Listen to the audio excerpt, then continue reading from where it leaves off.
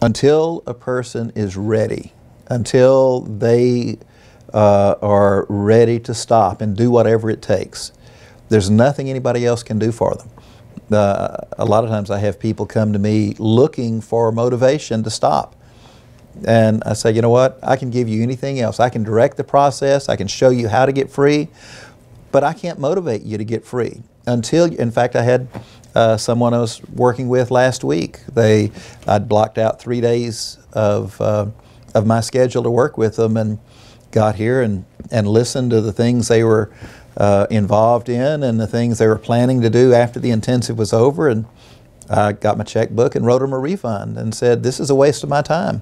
You're not ready to stop.